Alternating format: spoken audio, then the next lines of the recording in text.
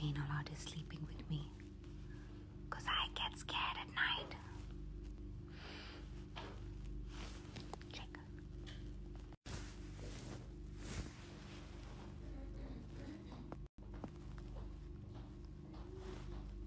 She's trying to switch off all the lights. That's her quilt. I had to request her. okay, she's done it.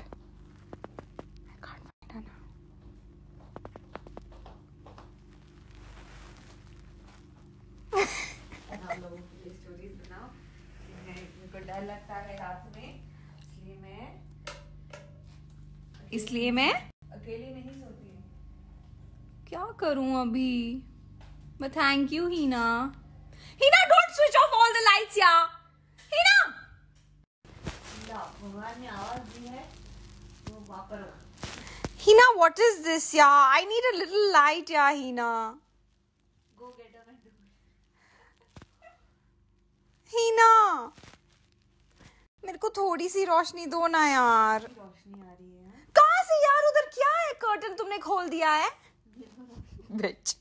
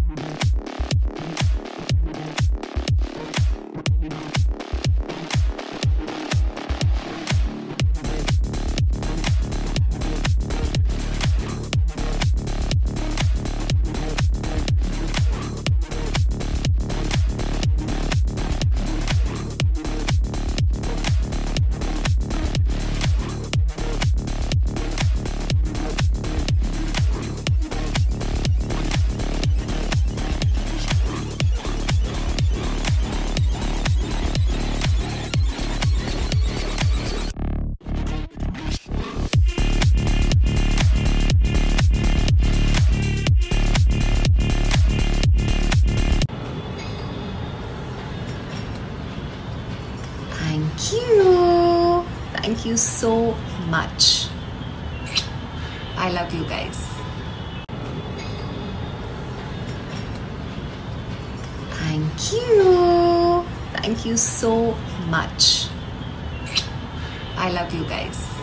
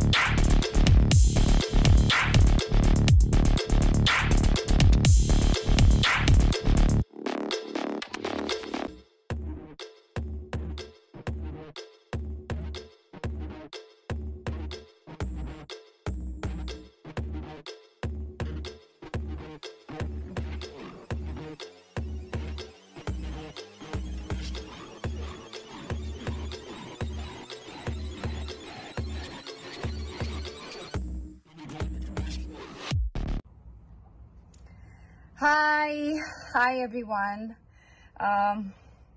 I know आप सब ये video तब देख पाएँगे जब uh, मैं घर के अंदर होंगी ऑलरेडी एंड आई नो आप सब बहुत अपसेट होंगे बिकॉज़ uh, मेरा बर्थडे दूसरी बार मैं बिग बॉस के घर में uh, मनाऊँगी. In fact I think I am the only contestant in the history of Bigg Boss जिसने दो बार अपना बर्थडे बिग बॉस के घर में ही uh, मनाया. I don't know. It just happened. I, I didn't have any idea about it. You know, when I was approached for Big Boss, um, I was told that um, we have to start shooting from third. So, you know, I was prepared कि third से shoot शुरू होगा तो कोई problem नहीं है मैं अपना birthday celebrate करके जाऊंगी but later on I got to know कि uh, third के telecast के लिए I have to get into the house on first.